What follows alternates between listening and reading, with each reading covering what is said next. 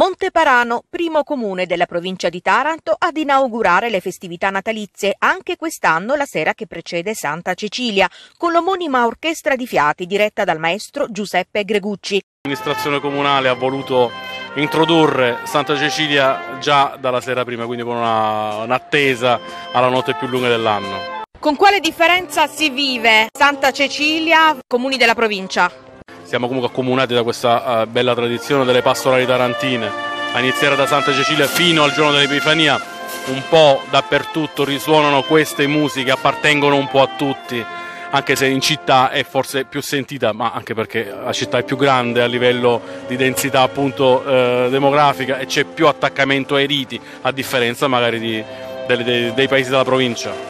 Il sindaco Maristella Carabotto ha messo personalmente le mani in pasta e preparato le tradizionali pettole per i suoi concittadini. Con l'accensione dell'albero noi abbiamo voluto accendere una speranza, lasciandoci dietro il 2022 con la speranza che il 2023 sia un anno migliore per tutti.